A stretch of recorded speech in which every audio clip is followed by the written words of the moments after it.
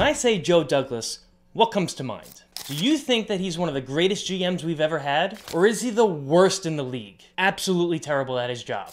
Well, he's not terrible at his job, right? But how does he stack up against other general managers in the NFL?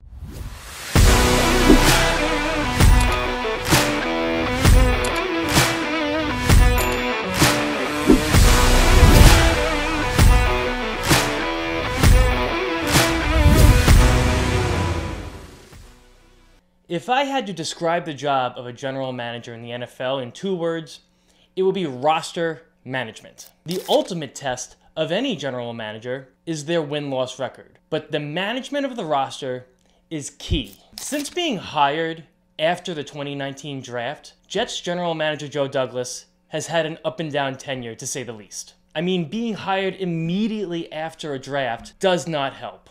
One of the biggest knocks on Joe Douglas was his first draft class in 2020. So let's start there. Okay, so the 2020 draft.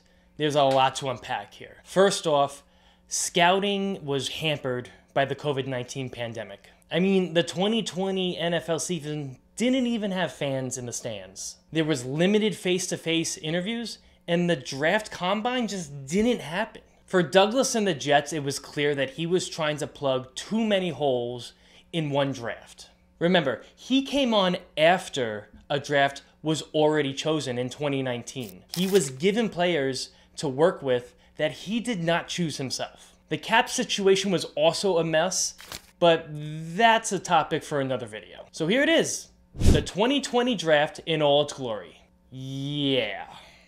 Okay, so looking at this list, there's really three players out of the batch of nine that are worth talking about Mekhi Becton, Ashtyn Davis, and Bryce Hall. There are only three left on the team after four seasons, and to be honest, they're all hanging on by a thread.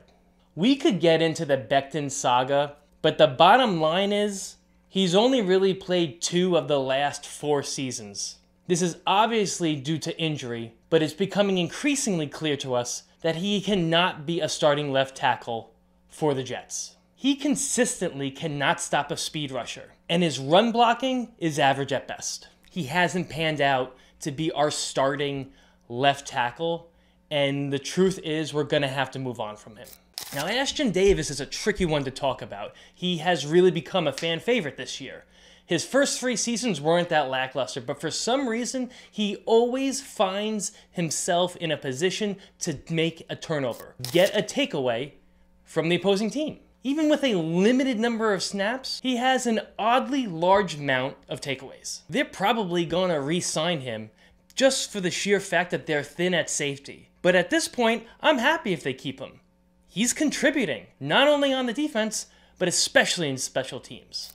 Bryce Hall never really developed into the cornerback that we thought he was going to be. He's been eclipsed by Sauce Gardner and DJ Reed, and barring injury, he's really not going to get much playing time. He's a competent cornerback at best.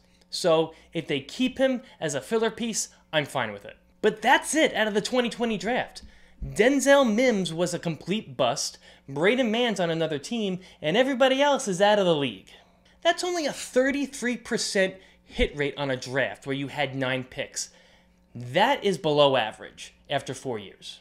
And by hit rate, I just mean guys that are on the team, not ones that are contributing consistently. The 2020 draft is one of the biggest stains on Joe Douglas's resume. Another stain is the offensive line. His number one priority when becoming the Jets general manager was to fix the offensive line. Him being an O lineman himself meant that he understood what it took to be an offensive lineman in the NFL. Out of all of his drafts, there are three key offensive linemen that he has picked across his tenure. We talked about Mekhi Becton. The other one is Joe Tippmann. And finally, AVT. The plan for the offensive line has just not panned out, but it's not because he hasn't been trying, it's because of injuries. Just like Becton, AVT has been hurt the last two seasons. He's only played one entire season out of his three years after being drafted. But injuries don't excuse everything. There are teams across the league that have dealt with a lot of offensive line injuries, but they don't go into the tank like the Jets do because they have competent guys on the bench that can come in and start. The lack of O line depth is an absolute smear on Joe Douglas's tenure. We're plugging in guys off the practice squad and expecting results. Every week, it seemed like there was a different group starting on the line, and that is not a recipe for success. I hope AVT comes back healthy, because if he does, then the interior of the line is really set with Laken, Tippmann, and AVT at guard. And finally, we get to the elephant in the room, Zach Wilson. One of the most important jobs of any NFL GM is to select a quarterback. Drafting Zach Wilson, number two overall, was clearly a mistake.